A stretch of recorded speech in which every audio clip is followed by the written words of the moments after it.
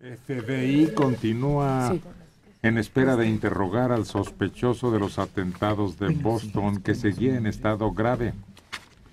Mientras el FBI está siendo criticado por no haber previsto el hecho.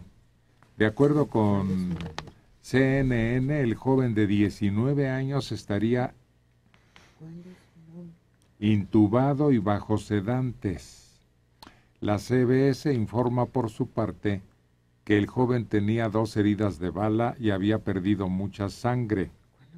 Después de una persecución de 24 horas, la policía detuvo la noche del viernes a el segundo sospechoso que, estando muy herido, se había ocultado en una lancha en un jardín de una casa. De las personas heridas, 180, 57 permanecen internadas, dos se encuentran en estado crítico. El sospechoso tendrá derecho a un juicio justo, pero debemos ser autorizados a interrogarlo. ¿Esto quiere decir torturarlo? Pues creo que la ley patriótica, que así se llama, permite ciertas formas de tortura como el, el ahogamiento el semiahogamiento. ¿Bajo la mirada de defensores de los derechos humanos? ¿O en este caso no, cuenta no, eso? No, se, no se permite acceso a, nadie que no sea de él. Los acusados de delitos de terrorismo pierden toda, toda garantía, absolutamente toda.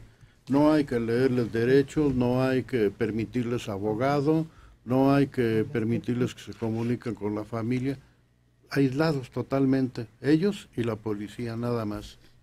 Bueno, se señala que el interrogatorio, así entre comillas, porque suponemos que también entrará la tortura, es para descubrir futuros atentados y organizaciones terroristas con las que él tuviera alguna relación o conocimiento simplemente. Las autoridades rusas, ahora es lo que se sabe, en 2012, el año pasado, habían pedido al FBI que siguiera de cerca a este joven tras haber recibido información de que era partidario de un Islam radical y creyente ferviente y que había drásticamente cambiado en 2010. En 2010, según la policía, no había detalles comprometedores y por eso disminuyó la vigilancia o la alerta. Pues sin duda la policía rusa sabe mejor de este asunto que, que la de Estados Unidos, que ya se le han metido varios goles. Pues hay que recordar que también cuando los atentados de las Torres Gemelas hubo ese descuido, hubo esa eh, inercia autocomplacencia y, un poco de apatía ante, ante una amenaza que pasa el tiempo y se va calmando el temor. Y ya se dejan pasar. En aquel caso eran hechos concretos que hubiera sido muy fácil seguir y eliminar. En este también fue un reporte autorizado por Rusia que les dijo pongan atención, pero ellos dijeron no, pues este ya es gringo, voy a usar el término, ¿no? Ya hace 10 años que vive aquí, le gustan las hamburguesas, este, vive feliz, eh, su familia aquí ha hecho su vida, pues por eso no se preocuparon y eso es lo que están acusando ahora. Que ya salió a la luz este caso, la negligencia, que es lo más grave. Y, y sí, lo, no, lo, no sé si lo van a torturar, pero no pudieron ni entrar a su casa de tantos explosivos que había, tuvieron que explotarla y luego entrar hacerla explotar. En más información sobre estos hechos, según publica el diario Boston Globe, el asesino de 19 años que fue capturado el pasado sábado presenta una herida grave en la garganta. La policía sospecha que él pudo haberse disparado un tiro en la boca por la herida que tiene en la parte posterior del cuello. Funcionarios han revelado que ha recuperado la conciencia, por lo que las autoridades han intentado comunicarse con él y lo han conseguido por vía escrita, aunque no han dado a conocer el contenido del interrogatorio. Lo que tú decías, Dora. Así es. Pues probablemente al ver que su hermano ya estaba muerto y que iba a recaer en él toda la responsabilidad, intentó no eh, provocarse una herida que lo dejara en un mutismo total, sino suicidarse. Pero pues no, el capricho no se cumplió. Y es peor la secuela que la muerte, ¿eh? porque si el que obtiene la posibilidad de hablar, de comunicarse, vive un infierno en la cárcel, imagínate el que no puede. Y que además es responsable de tres muertes de muchas personas que no tenían necesidad, pero que de aquí en adelante van a usar una prótesis y apestado y sin hablar. Por eso no, no intenten suicidarse, si lo van a hacer háganlo bien o no lo hagan, pero las secuelas son brutales. Salvo los que explotan con bombas que llevan adheridas al cuerpo, no, lo, no hay musulmán que se suicide. Yo en lo personal soy muy poco creyente de la versión que están dando en Estados Unidos por una razón.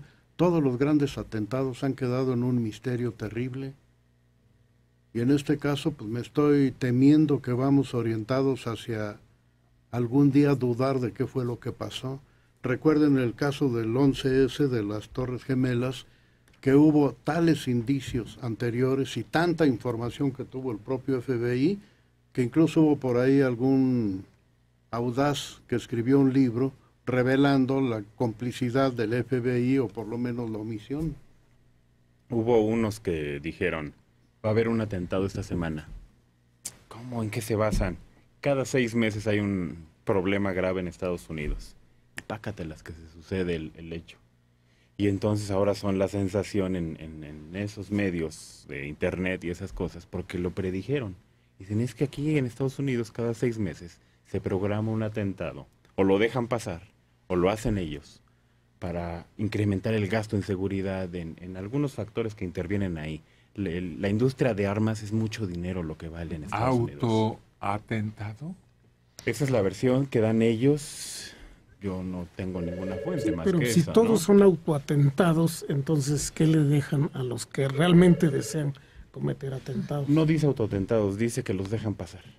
Eso, se voltean para un lado y los dejan. Eso fue que sí. Ocurrir. Porque eso pasó con el informe que tenía el, presidente Bush en su escritorio. Que por cierto corrieron al autor, donde decía este mes va a haber eh, atentados. Dos preocupaciones de los grupos muy de derecha de Estados Unidos. Uno de ellos es eh, eh, la ley migratoria y suena feo, pero creo que los grupos de ultraderecha gringos le tienen echada la mirada a los mexicanos, no a otras inmigraciones. Están agradecidos con los italianos, con los escoceses, etcétera, pero los mexicanos somos una plaga, somos realmente, como decías, vacilos patógenos.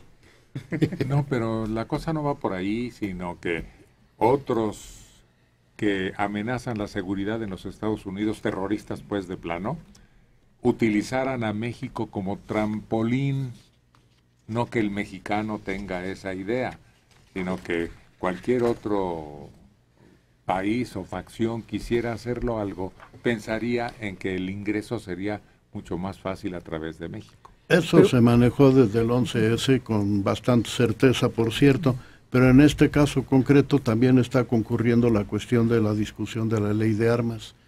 Y perdón, los sujetos superarmados de ese país no se van a quedar quietos ni van a permitir que, se modifique la ley. Sí, pero mm, todos los autores de los atentados más importantes en Estados Unidos han entrado por Nueva York o han llegado al aeropuerto Kennedy en Nueva York. Ninguno ha pasado por la frontera de México con más razón hay que intentarlo porque esa frontera está menos vigilada y sobre todo cuando vemos que en el Suchate hay cero vigilancia. Acaban de agarrar unos eh, pakistaníes. Indios y nepalenses, bueno, de Nepal. Sí, la no, yo no creo, es más, yo creo que es la frontera más vigilada del mundo, la que hay entre México y Estados Unidos. Ah, caray. Sí, dicen que sí. Sí.